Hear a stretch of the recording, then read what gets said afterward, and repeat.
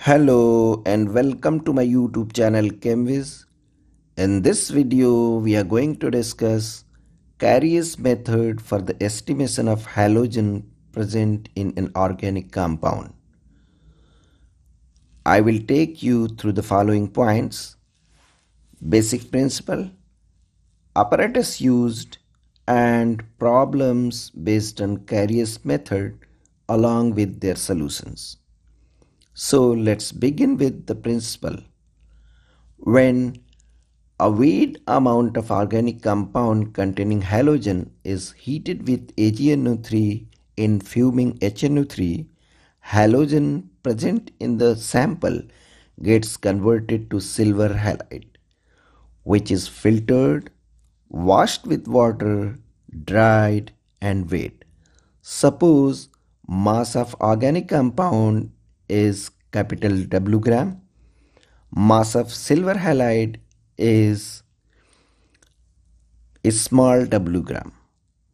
So mass of halogen will be equal to molar mass of halogen into mass of silver halide upon molar mass of silver halide. Percentage of halogen is equal to mass of halogen upon mass of sample into 100. So percentage of halogen will be equal to molar mass of halogen into small w into 100 upon molar mass of silver halide into capital W. Apparatus used in Carius method. In Carius method, there is a small glass tube containing weight amount of organic compound to be analyzed.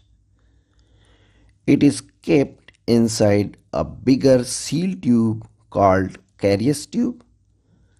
At the bottom of Carius tube, there is a mixture of AgNO3 and fuming HNO3. The Carius tube is kept inside an iron jacket.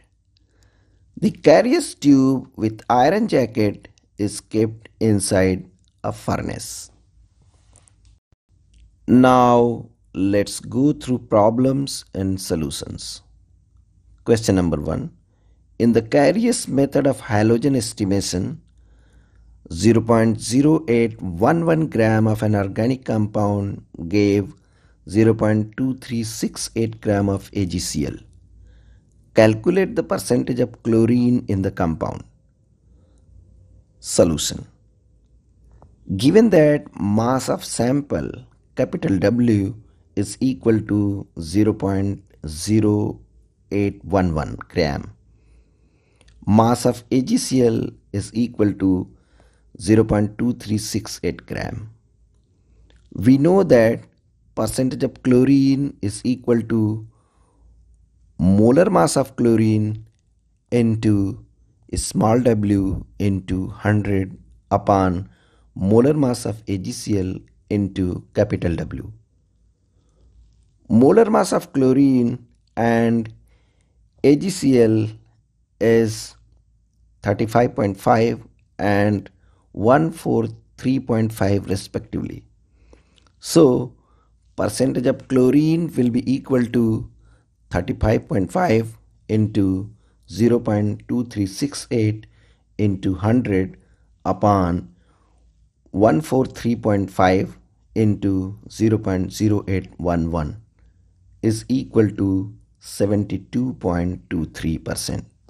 Question number 2.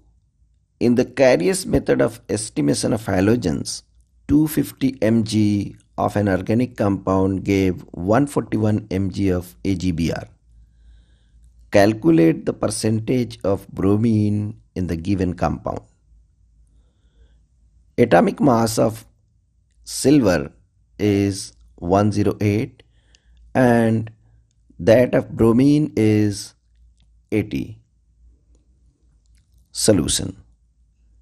Given that mass of sample capital W is equal to 250 mg.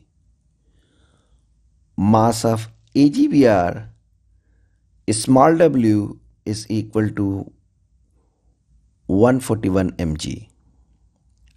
Molar mass of Ag is equal to 108 and molar mass of bromine is equal to 80. So, molar mass of AgBr is equal to 108 plus 80 is equal to 188. We know that percentage of bromine is equal to molar mass of, molar mass of bromine into small w into 100 upon molar mass of AgBr into capital W that will be equal to 80 into 141 into 100 upon 188 into 250 is equal to 24%.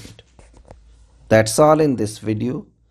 Please subscribe my channel and press the bell icon if you like this video. Thank you very much for watching this video.